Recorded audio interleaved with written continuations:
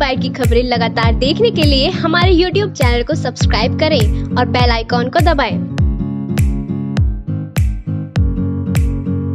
इस खबर के प्रायोजक है K M C health city and K M C cancer institute उत्तरी भारत का आधुनिकतम सुविधाओं से युक्त चिकित्सा संस्थान, बागपत रोड, मेरठ नमस्कार, मैं हूँ रवि शर्मा और आप देख रहे हैं first bite dot TV Meerut ज़िले में कोरोना अपने पाँव बुरी तरह से पछाड़ चुका है। संक्रमितों का आंकड़ा, जहाँ एक सौ पैंसठ तक जा पहुँचा है, वहीं कोरोना से मरने वाले मेरठ वासियों की संख्या आठ हो गई है। बीते दिवस बिजनौर के एक चिकित्सक की मौत के बाद मेरठ में मरने वालों का आंकड़ा नौ हो गया था। यह सिस्टम का फेलियर ही कहा जाएगा कि आज ब्रह्मपुरी निवासी 30 वर्षीय युवक की कल हुई मौत के बाद आज उसकी कोरोना रिपोर्ट पॉजिटिव पाई गई। यानी रिपोर्ट आने से पहले ही एक व्यक्ति ने दम तोड़ दिया। हाल फ़िलहाल में ऐसे अन्य भी कई मामले सामने आए हैं। जिलाधिकारी अनिल ढींगरा ने मेरठ ज़िले में कोरोना की तैयारियों प्रशासन व स्वास्थ्य विभाग द्वारा उठाए जा रहे कदमों की विस्तार से जानकारी दी। आइए बात करते हैं जिलाधिकारी अनिल ढींगरा से। अभी तक जनपद मेरठ में जो है आ, कुल कोरोना पॉजिटिव 165 केसेज आए हैं जिसमें से 55 केसेज जो है डिस्चार्ज होकर होम क्वारंटाइन के लिए चले गए हैं सेवन हमारे यहाँ पे अभी तक की डेथ है और बाकी जो हमारे हैं वो हमारे मेडिकल कॉलेज में हमारी सी एच सी पाचली में और एम एस मेडिकल कॉलेज में एडमिट है और कुछ खेकड़ा में भी हैं और सभी का जो है इलाज अच्छे से हमारे डॉक्टर्स और उनकी टीम कर रही है। समय पे जो है उनका जो है उपचार किया जा रहा है और मुझे उम्मीद है कि अगले तीन दिन में ऐसे और पेशेंट भी हम लोगों ने आइडेंटिफाइड कर लिए हैं, जिनको लगभग चौदह दिन होने वाले हैं और उनका एक टेस्ट जो है नेगेटिव आ गया है तो वो लोग भी डिस्चार्ज होकर अपने घरों पर चले जाएँगे। अभी पिछले दो दिन में जो है, लगभग हमारे पास जो है चालीस केसेज जो हैं कोरोना पॉजिटिव के आए हैं जिसमें हमारे काफ़ी सारे जो है, पुरानी चेन थे, जो पिछले दस दिन में हमारे जो कोरोना पॉजिटिव आए थे, पिछले एक हफ़्ते में, उनकी जो है कॉन्टैक्ट ट्रेसिंग में निकले हैं। कल रात में छः नए केसेज भी आए हैं, जिसमें तीन हमारे जो है प्राइवेट लैब के हैं, और तीन हमारे जो हैं जो ओपीडी हमारी डिस्ट्रिक्ट हॉस्पिटल की थी, उसमें से आए हैं। उनकी कॉन्टैक्ट ट्रेसिंग आज हो रही है। इनमें से लगभग जो है चौदह केसेज जो कल आए हैं, वो हमारे जो पुराने तीन दिन पहले एक जो नवीन मंडी में विक्रेता थे, उनकी डेथ थी, उनके कॉन्टैक्ट ट्रेसिंग में थे, वो हम लोगों ने आइडेंटिफाइड किया था। तो हमारा मेन मकसद यही रहता है कि जब भी किसी का कोई कोरोना पॉजिटिव आता है तो हम लोग उसमें जो है, अपनी सर्विलेंस तेज करके, उनके जो परिवार के मिलने वाले होते हैं, उनको कंटेन करने के लिए आइडेंटिफाइड करके, उनको इंस्टीट्यूशन क्वारंटाइन कराते हैं और सैम्पलिंग कराते हैं। इसी तरीके से कार्रवाई जो अभी अभी हमारे जो नए केसेज आए हैं कल, उनको हम लोगों ने आइडेंटिफाइड किया हुआ है। और अब उनकी भी आज कॉन्टैक्ट ट्रेसिंग करा रहे हैं और ये कोशिश रहेगी कि जो उनके एच आर ग्रुप्स के हैं हाई रिस्क के, जो उनसे मिले हैं या उनके परिवार के हैं, उनको आइडेंटिफाइड किया जाए और उनको इंस्टीट्यूशनल क्वारंटाइन करा के तीन दिन बाद उनका सैम्पलिंग कराया जाए। अगर वो भी पॉजिटिव आते हैं तो फिर उनको आइसोलेशन वार्ड में शिफ्ट किया जाए और अगर नेगेटिव रहते हैं तो चौदह दिन वो अपना इंस्टीट्यूशनल क्वारंटाइन पूरा करेंगे और वो अपने घर जाएँगे।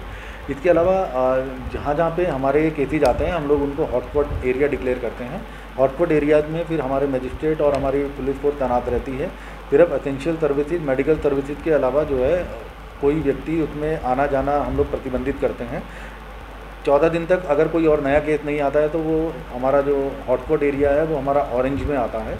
और उसके बाद भी नहीं आता है चौदह दिन के लिए तो फिर हमारा ग्रीन जोन में आता है, फिर हमारा जो है वो हॉटस्पॉट एरिया वो ख़त्म हो जाता है। अभी रिसेंटली जो केसेज आए हैं, उसमें हम लोगों ने अपनी नवीन मंडी को अभी दो दिन के लिए बंद किया है और हमारा प्रयास है कि हम लोग इसको, जो सब्ज़ी मंडी है, उसको अन्य किसी एक प्लेस पे जो हमारे मजिस्ट्रेट अभी आज ढूंढ रहे हैं, उस पर हम लोग शिफ्ट करा लेंगे। और इसके अलावा जो है हमारा जागृति बिहार में एक केस आया है जेल चुंगी में आया, उनको भी हम लोगों ने हॉटस्पॉट डिक्लेयर कर दिया है। और वहाँ भी हमारे जो है फोर्स फोर्स तैनात होकर वहाँ भी हमारी जो है सीलिंग की कार्रवाई आरंभ हो गई है और सैनिटाइजेशन की कार्रवाई चल रही है। जो पर्टिकुलर घर या जैसे मंडी होती है तो उसको हम लोग सैनिटाइज कराते हैं और प्लस उसके आसपास का जो एरियाज़ है जो हमारा हॉटस्पॉट बनता है उसको भी हम लोग सैनिटाइज कराते हैं। हमारी पूरी सैनिटाइजेशन की टीम नगर निगम की और फायर ब्रिगेड की गाड़ियाँ लग गई है और ये हम लोग आपको अपडेट करते रहेंगे। अभी हमारे जो है थर्टी सिक्स जो है हमारे हॉटस्पॉट बन गए हैं। और उसमें से चार हमारे ख़त्म हो गए हैं तो अभी थर्टी टू जो है हमारे एक्टिव हैं। और जो अभी रात में केसेज आए हैं उसमें एक दो हो सकता है हॉटस्पॉट अभी और बढ़ेगा उसका भी हम लोग एड्रेस निकलवा रहे हैं। सर नवीन मंडी में क्या फुल टेस्टिंग पर भी फोकस किया जाएगा और ज़्यादा कॉम्प्रिहेंसिव टेस्टिंग देखिए उसमें हम लोगों ने जो है पहले भी इसमें कार्रवाई की है। इसमें हम लोगों ने जो रिटेलर जाते थे जो इंडिविजुअल कस्टमर जाते थे उन पर प्रतिबंध किया था।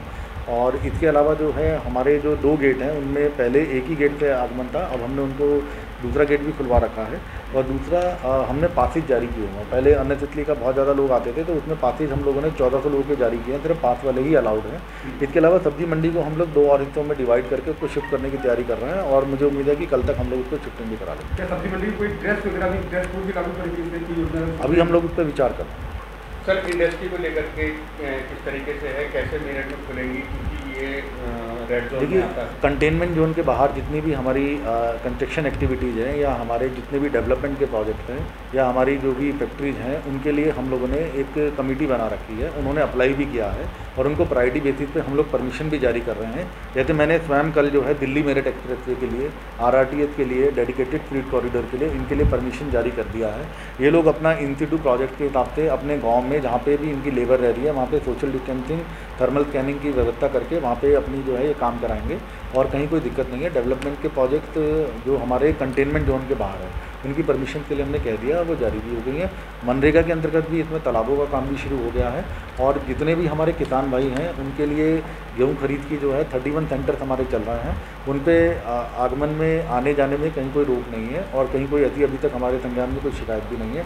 सभी जगह जो है सुचारू रूप से चल रहा है। इंडस्ट्री को सर कब तक कुछ मिल जाएगा सहूलत? और जो मेरठ में इंडस्ट्री की बात करें जो छोटे उद्योग हैं उनको भी सहूलत दी जाएगी? बिल्कुल ऐसा कंटेनमेंट जोन के बाहर जो भी हैं और अगर सोशल डिस्टेंसिंग के नॉर्म्स का पालन करते हैं जो हमारे प्रोटोकॉल है स्टैंडर्ड प्रोटोकॉल इसका उसके हिसाब से करेंगे तो उनको भी परमिशन जारी कर रहे हैं। इसके लिए मुख्य विकास अधिकारी की अध्यक्षता में हम लोगों ने कमेटी गठित की सर मोदी को सूचना आ रही थी कि दाना ना मिलने से हज़ारों मुर्गियों की मौत हुई है। ऐसी कुछ खबर है क्या? नहीं अभी हम मेरे संज्ञान में नहीं है। सर बाहर से कितने मजदूर तक के अंदर आए? देखिए अभी हमारे पास जो है बाहर से हरियाणा से जो है लगभग 189 लोग आए थे। उनको हम लोगों ने मेडिकल स्क्रीन कराया और उनको उसके बाद उनको होम क्वारंटाइन करा दिया है। उसको हम लोगों ने राशन का किट भी दिया है। और भी आने देखिए जैसे जैसे सूचना मिलेगी हम आपको बताएँगे। इसके अलावा आज शहर के बीचों बीच स्थित भगवतपुरा झंडे वाली की दुकान के निकट भी एक व्यक्ति में कोरोना के लक्षण पाए गए। स्वास्थ्य विभाग की टीम ने उसे क्वारंटाइन सेंटर भेज दिया है। इसी क्रम में भाजपा के नगर निगम के सभासद पंकज गोयल के भाई विपुल गोयल भी पॉजिटिव पाए गए हैं। स्वास्थ्य विभाग की टीम उन्हें अपने साथ ले गई है।